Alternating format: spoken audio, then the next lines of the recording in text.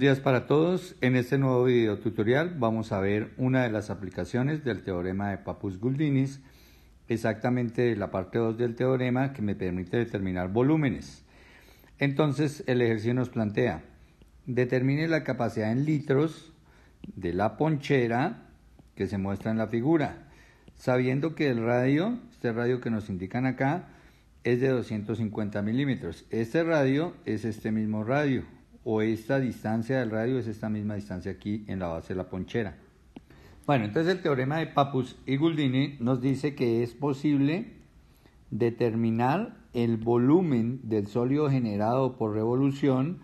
Entonces fijémonos que si nosotros trazamos una línea que va a actuar como eje de simetría y si nosotros rotamos una porción de área, ojo, de área, en este caso esta sería la porción de área si la hago rotar alrededor de este eje, que viene a ser mi eje Y, voy a generar, al hacer esta rotación de esta área alrededor del eje Y, voy a generar lo que yo llamo un sólido por revolución, que la rotación sería este sólido. El resultado de rotar esta media área alrededor del eje Y será este sólido. Entonces se dice que este es un sólido por revolución.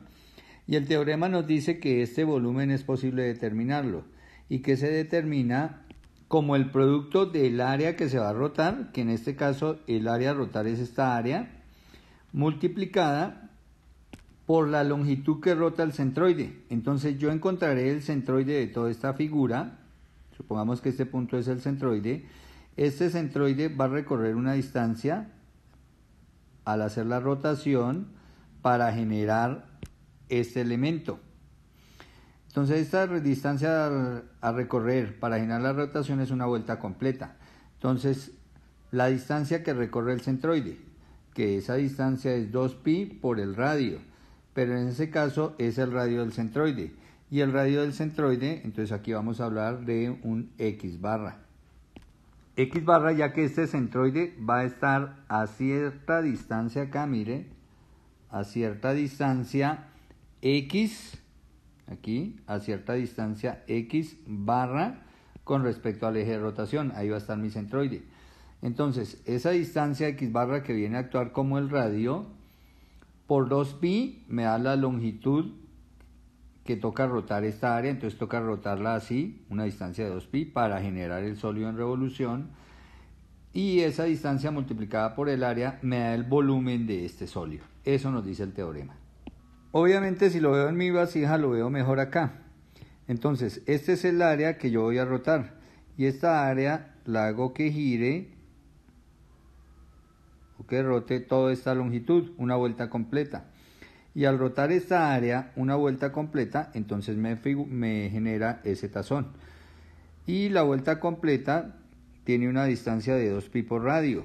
Pero el radio el radio es, recuerden que el radio que tomamos aquí es el radio del centroide del área, que el centroide del área estará por aquí en cierto punto. Entonces será este el radio. Pero este radio es igual al X barra, donde X barra viene a ser el centroide, este centroide, de el área, del área que pretendemos hacer rotar, que es esta área de color morado. Esa área que pretendemos hacer rotar tiene un centroide. Ese centroide está a una distancia de x barra. Multiplicada por 2pi, entonces me da la longitud que toca hacer rotar toda esta área. Una vez que ya determinamos cómo vamos a generar el volumen, entonces lo siguiente es pasar acá a mi elemento, el cual ya sabemos que lo vamos a hacer rotar alrededor del eje Y. Y ya sabemos exactamente el área que vamos a hacer rotar. Entonces recordemos que es esta porción la porción que marcamos aquí en amarillo. Pero ahora nos toca hallar el centroide del área. Entonces resulta que acá, para poder hacer el ejercicio, yo tengo que tomar esto como un cuerpo compuesto por dos áreas. Esta área, que sería el área de un triángulo, más, y que la voy a poder llamar área 1, más el otra área, que la vamos a marcar en otro color, y que aquí está marcada en otro color, y es el área 2. Esta área 2, fíjense que es un sector circular. Un sector circular. Son áreas. Bueno, para que las veamos como tal, entonces las acabé de colorear. Ahí están mis dos áreas. Y este volumen lo voy a hallar. Entonces vamos a decir que este volumen es igual a la sumatoria de los volúmenes que componen toda la figura. En este caso son dos volúmenes, entonces este volumen lo voy a hallar como el volumen 1 más el volumen 2. O sea, el volumen generado por la figura 1 al rotarla más el volumen generado por la figura 2, pues como tengo toda esta mitad, pues me va a generar la otra mitad, me la va a generar revolución y me va a generar ese plato. Entonces el volumen de la figura 1 más el volumen de la figura 2. Pero el volumen de la figura 1 pues lo voy a hallar como el área de la figura 1 por 2pi por el x barra de la figura 1 y aquí será más el área de la figura 2 por 2pi por el x barra de la figura 2. Aquí podemos factorizar el 2pi y nos quedará este 2pi que multiplica al área de la figura 1 por el x barra de la figura 1 más el área 2 por el x barra de la figura 2. Ahí están. Y entonces lo único que voy a tener que hacer es hallar el área de cada figura y el x barra de cada figura, sumarlas y multiplicar todo por 2pi. Entonces vamos a hacer eso a continuación. Bueno, entonces vayamos a la figura 1. Ahí tenemos nuestra figura 1. ¿Qué datos conocemos de nuestra figura 1? Si nosotros nos fijamos, conocemos esta distancia. Esa distancia de acá hasta acá. ¿Cuánto vale esa distancia? Pues es sencillo. Si todo vale r y estoy en el eje de simetría, quiere decir que esta distancia es r medios. Y si miramos bien el triángulo, esta línea es la hipotenusa del triángulo, pero yo conozco esta hipotenusa porque esto vale r. Este es el radio que me están marcando acá, miren. Este radio de acá, pues viene a ser este mismo radio, porque aquí empieza la parte circular, aquí empieza el radio de este círculo. Entonces esta distancia vale r. Entonces, si yo sé que esto vale r medios y esto vale r, puedo hallar la hipotenusa por Pitágoras, ¿no? Recordemos que Pitágoras nos dice que si va a hallar, perdón, puede hallar el cateto, que en ese caso este cateto es la altura. Entonces puedo hallar esa altura. Entonces, ¿cómo vamos a hallar esa altura? Vamos a hacerlo aquí. Raíz de 3 sobre 2 por r. Eso nos vale esta altura del triángulo. Y listo, ya tenemos todo nuestro triángulo completo. Ahora sí podemos empezar a trabajar acá. Y entonces decimos que el volumen de esa figura es igual a 2pi factor de el área 1. Entonces mi figura 1 pues es mi triángulo y el área de un triángulo es base por altura sobre 2. Entonces la base es r medios por la altura que la acabamos de obtener y que es raíz de 3 sobre 2 por r. Y todo esto dividido en 2. Entonces de una vez puedo colocar acá esto dividido en 2. Como todos son multiplicaciones puedo colocar ese 2 ahí. Y esto por el x barra. Estamos multiplicando 2pi por área 1, 2pi por área 1. Y esto por el x barra de la figura 1. Bueno, entonces el x barra de un triángulo Recordemos que el x barra está con respecto a este que es el ángulo recto, como estamos el x barra es lo que me alejo yo del eje y, ¿cierto? El x barra está acá. Por acá, con respecto a x, ¿cuánto es eso? A una tercera parte, entonces aquí lo escribimos, a una tercera parte de la base. Con, repito, con respecto al ángulo recto. El ángulo recto, miren, está ubicado aquí abajo. Uy, nos quedó, nos quedó torcida, ya la corregimos. Entonces, aquí está la línea. Aquí está el ángulo recto. Esta distancia a la tercera parte de esta base, de la distancia de la base, o sea, acá, en alguna parte aquí para arriba, no en alguna parte, porque también es a la tercera parte de la altura. Pero como no nos interesa el centroide Y, solo el de X, entonces a una tercera parte de la base o sea, una tercera parte de R medios, que es la base. Entonces aquí vamos a multiplicar por un tercio de R medios. Un tercio, aquí, un tercio de R medios. Listo. Ya ya tengo esta primera parte. Entonces aquí vamos a mostrar, tenemos este producto. Área 1, X barra 1. Área 1, X barra 1 y eso por el 2pi. Entonces aquí me va a tocar colocar otro paréntesis, abrir otro paréntesis, 2pi. Más ahora vamos con el área 2, x barra 2, que la figura 2 es este sector circular. Entonces vamos a las fórmulas del sector circular. Y entonces, lo primero es que si se tiene un sector circular como este, miremoslo, que tiene radio R el sector circular y que tiene una abertura de ángulo teta, entonces me cubrirá una longitud de arco S.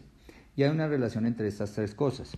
Bueno, la primera es que S es igual a R por teta, pero eso es para hallar la longitud de esta curva del sector circular. Pero como yo lo que necesito es determinar el área, entonces el área del sector circular se determina como teta por radio al cuadrado sobre 2, donde teta es el ángulo, obviamente R es el radio, sobre 2R cuadrado sobre 2, así se determina.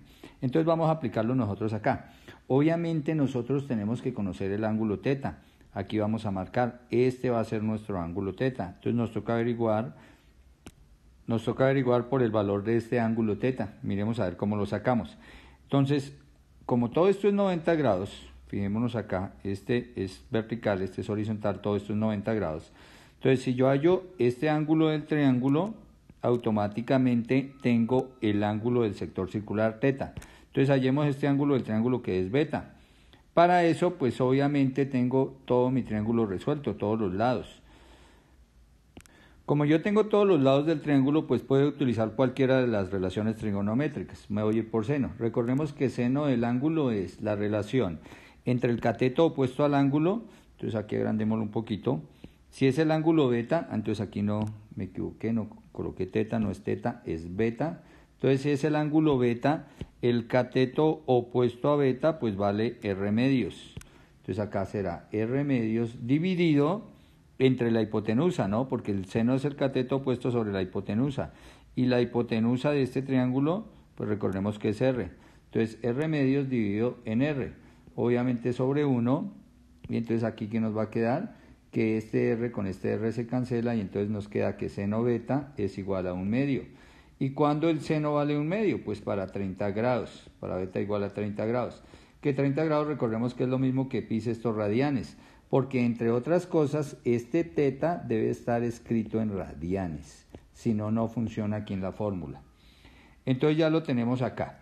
Entonces ahora sí apliquemos el área, el área de nuestro sector circular. Entonces abramos aquí el otro paréntesis, el área de nuestro sector circular, teta, o sea, pi sextos, ¿cierto? Teta por r al cuadrado. r, nuestro radio, pues es r mayúscula al cuadrado sobre 2. Y aquí ya tenemos esta área 2, que es el área de este sector circular 2, que lo sacamos con esta ecuación acá. Listo, y esto ha multiplicado, esto ha multiplicado por el x barra de la figura 2. Entonces, este x barra 2. Entonces me toca el x barra de este sector circular. Bueno, pero antes de continuar corrijo porque aquí me equivoqué, tengo un error. Resulta que este beta es el ángulo aquí del triángulo, ¿no? Este es beta y yo necesito trabajar con teta. Entonces, si este beta nos dio 30 grados, ¿cierto? Aquí está 30 grados. Quiere decir que este teta son 60 grados, ¿no? Porque toda me va a formar 90 grados. Entonces el ángulo de mi sector circular son 60 grados. Recordemos que 60 grados son pi tercios radianes. Entonces acá lo que me toca es decir que el área es pi tercios, ¿cierto? Pi tercios radianes, que es el ángulo por el valor del radio que es r al cuadrado y esto sobre 2. Listo, ahora sí. Y esto por el x barra el X barra del sector circular. Entonces ahora sí miremos el X barra de un sector circular como este. Entonces ese se saca de la siguiente manera. Entonces en el libro o en los libros encontramos que si este es el sector circular, el X barra, que será la distancia a donde está el centroide del sector circular, aquí está, este será la, el X barra. El X barra me dicen allá que está a una distancia de 2R seno de alfa sobre 3 alfa. Esta es la distancia aquí al centroide, pero la distancia en X. Fíjense que este sería el centroide del sector, ¿no? Este es nuestro sector circular, este sería el centroide en X. De aquí para allá, aquí tendría que colocar una aguja para que esto estuviera en equilibrio, esta figura plana. Puesta horizontalmente para que estuviera en equilibrio, aquí colocaría la aguja. El Y barra pues como el sector circular quedó la mitad para arriba, la mitad para abajo quedó simétrico, pues el y barra está sobre el eje X, o sea, el y barra sería cero. Entonces, ¿aquí qué hacemos? Fíjense que el sector circular no está como acá, porque acá esta línea es recta, horizontal, pero acá la línea que me divide el ángulo en dos no es horizontal, es diagonal. Sin embargo, si ustedes observan, si yo coloco esta línea así, o si yo coloco esta porción o giro este eje hasta acá hasta la horizontal y lo hago rotar, pues el volumen que me genera es exactamente el mismo volumen que está generando ahí en esa posición. Entonces, como me está generando el mismo volumen, pues el X barra lo trabajo como si fuera esta situación. Es decir, el X barra lo voy a tomar como, entonces reemplacemos la fórmula, 2R, donde el R es el radio del sector circular, en este caso nuestro R sigue siendo este R, el R del tazón, entonces 2R, 2R seno de alfa, pero alfa es la mitad del ángulo del sector circular. Aquí todo el ángulo son, ya lo vimos, son 60 grados. La mitad de 60 son 30. Entonces será 2R seno de 30 grados sobre alfa, sobre 3 alfa. Entonces sobre 3 alfa. Pero alfa, este alfa de acá tiene que ser el ángulo en radianes. Como el todo el ángulo no lo llamé alfa, sino teta, y alfa es la mitad, y todo el ángulo es pi tercios, o sea, 60 grados que son pi tercios radianes, la mitad del ángulo pues será pi sextos. Entonces acá por pi sextos radianes, por alfa que es la mitad del ángulo. Cierro acá, cierro acá y ya tengo esto. Entonces ya tengo que el volumen es 2pi por el valor de área 1, x trazo 1, área 2, x trazo 2, que es el del sector circular. Y ahora lo único que hago es hacer operaciones. Obviamente tenemos que entrar a reemplazar el radio. Entonces como aquí en el problema me dan el radio, me dicen que es 250 milímetros. Entonces vamos a reemplazar esta R por 250 esta R también por 250, todas las R's que veamos acá por 250, esta R será 250, esto al cuadrado, esta R 250, entonces todas las R que veamos 250, hacemos las operaciones. Bueno, entonces el resultado me da 31,883 por 10 a la 6 milímetros cúbicos.